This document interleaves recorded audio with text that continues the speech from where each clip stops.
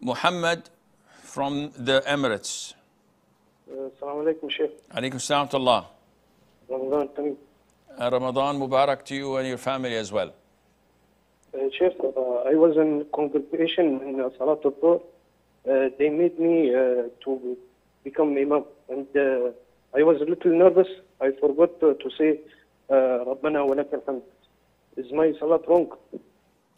You, what did you say? You just uh, uh, rised from the ruku' without saying anything?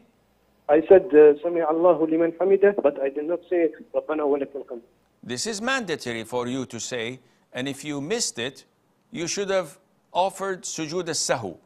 If you did not offer sujood as-sahu due to your ignorance or not uh, remembering, your salat is, is, is valid, inshallah, and there is nothing for you to do uh, as of now.